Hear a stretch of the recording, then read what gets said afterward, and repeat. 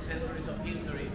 You see that 99% or more, everybody's looking at the, the bridge, which is quite nice.